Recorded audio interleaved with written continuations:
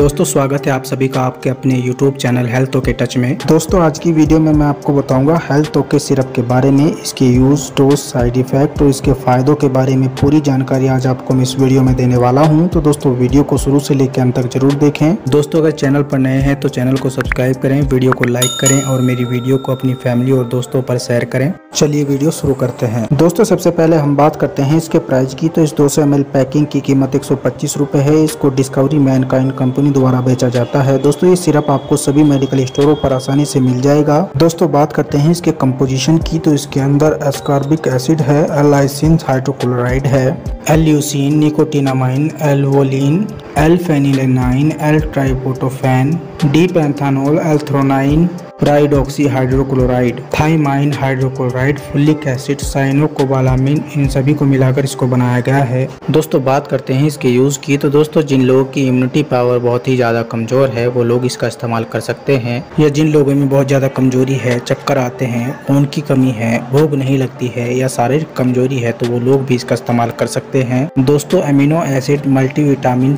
and antioxidant का ये बहुत अच्छा मिश्रण है। ये हमारे शरीर में एनर्जी बनाए रखता है, प्रोटीन की कमी को भी दूर करता है, कार्बोहाइड्रेट की कमी को भी दूर करता है। ये हमारी हेल्थ के लिए बहुत ही अच्छा सप्लीमेंट है। दोस्तों, जिन लोगों की इम्यूनिटी पावर बहुत ही ज़्यादा कमज़ोर होती है, वो लोग बीमारी के बार बार शिकार हो जाते हैं। हेल्थ ओके सिरप के इस्तेमाल से आपकी इम्यूनिटी पावर बहुत ज़्यादा मज़बूत हो जाएगी, आपको भूख भी अच्छी लगेगी और आपका वज़न भी बढ़ने लगेगा।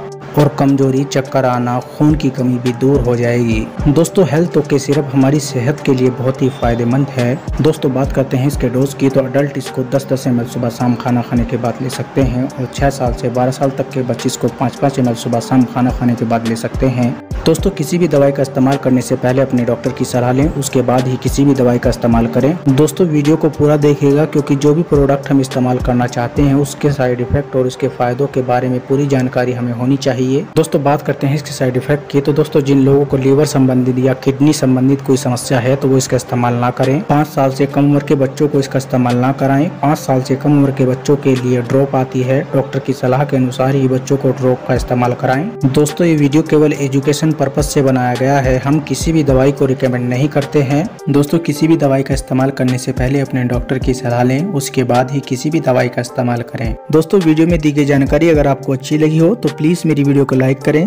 चैनल को सब्सक्राइब करें और बेल आइकन घंटी को ऑन करें ताकि मेरी हर आने वाली वीडियो की नोटिफिकेशन आपको मिलती रहे। Thank you for watching